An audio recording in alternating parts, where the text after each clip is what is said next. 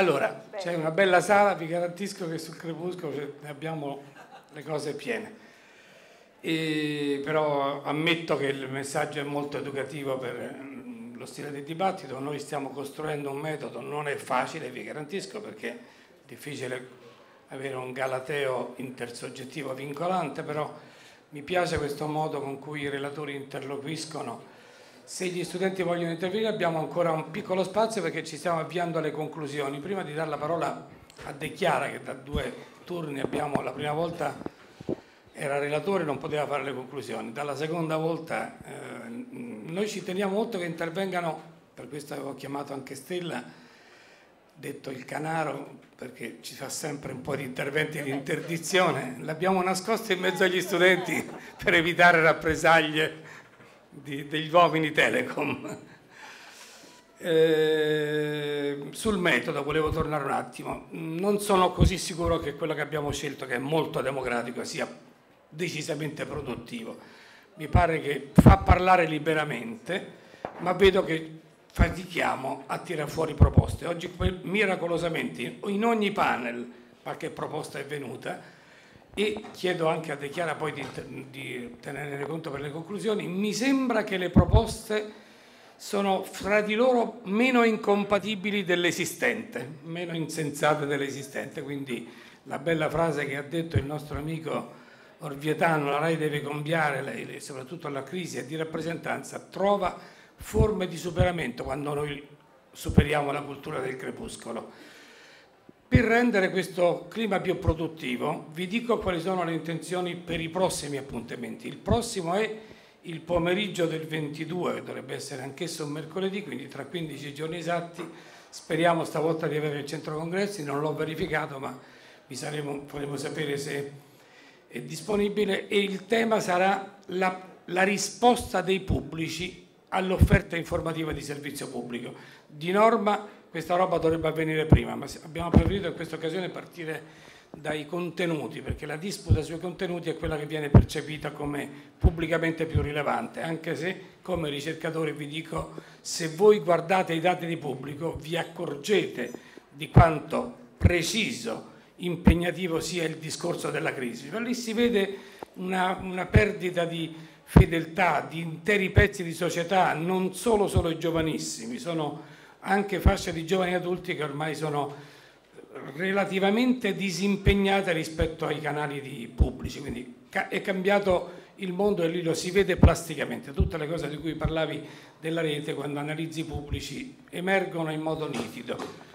Il relatore dovrebbe essere De Vescovi, se ricordo bene, ma in ogni caso su questo abbiamo anche dati di scuola, come si dice, quindi ci, ci lavoriamo da tempo. Nell'ultimo numero di problemi dell'informazione abbiamo pubblicato un attacco ai talk show che appunto è stato anche citato in Parlamento quando si è parlato di eliminare, di liquidare alcuni talk show come parte di spuma puramente di bla bla, come direbbe Beghelloni. Eh, allora, l'innovazione di metodo,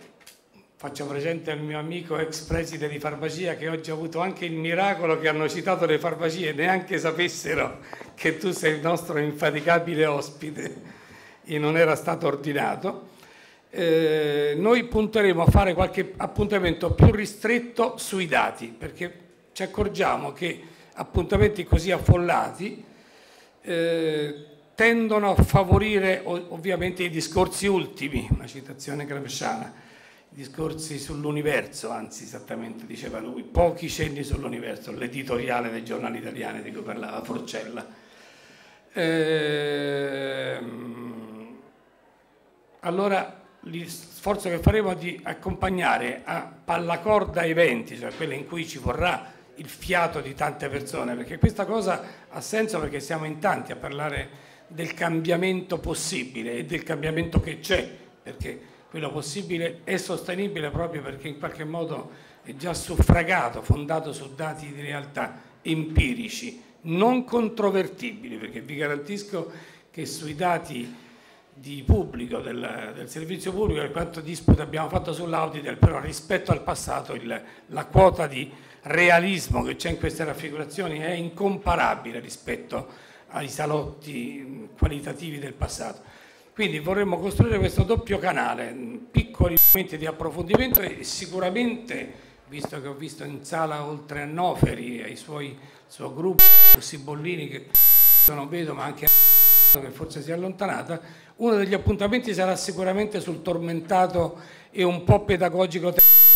tra media e formazione in età scolare perché abbiamo un accordo con la struttura della RAI per rilanciare Scuola Digitale, che è una bellissima esperienza che ha onore, non l'unico, al servizio pubblico. Un altro tema sarà sicuramente sul, sul come i giovani si comportano di fronte alle offerte multicanali. Lì si scopre non solo la quantità della fuga che è sconvolgente e la RAI, mi dispiace dirlo, sembra rimuovere questi dati. Fa finta la fiction RAI, più consapevole del giornalismo e dell'intrattenimento, ha fatto uno sforzo di lavoro su questi dati al punto che nell'ultima stagione c'è stato un tasso di ringiovanimento del pubblico della fiction RAI che in passato avremmo considerato il pubblico più seduto, più adulto e eh, il bilancio della fiction è più innovativo di quello del giornalismo che è più in crisi e dell'intrattenimento che è più ingiallito. Allora, alcune di queste cose le destineremo a piccoli seminari scientifici in aule che consentano la discussione scientifica. Qui sarebbe impossibile discutere dati come quelli che ci ha presentato oggi la ricercatrice dell'Osservatorio di Pavia. Quindi qui sono presentazioni quasi erga omnes, lì invece abbiamo bisogno di una soglia di interattività. Quindi il prossimo appuntamento avrà questa caratteristica L'ultimo, il penultimo appuntamento sarà sulla governance e lo faremo sicuramente al centro congressi perché lì ci sarà un sacco di gente assetata di sapere e speriamo solo di sapere. E infine abbiamo in mente un evento finale, forse pensiamo a una location di una qualche qualità come il Duomo di Orvieto, ma non ho ancora avuto una risposta dalla, dalla, dal nuovo Vescovo di Orvieto passato abbiamo nel mio dipartimento organizzato eventi culturali in Duomo e vi garantisco che è una gran ficata fare roba lì dentro. Insomma, lì vorremmo presentare i risultati finali e anche proposte scritte, anche alternative ovviamente, su pochi nodi essenziali. Quelli che sono stati oggi citati sono più che sufficienti per alimentare la nostra riflessione e a questi accompagneremo anche quelli che emergeranno nelle prossime puntate.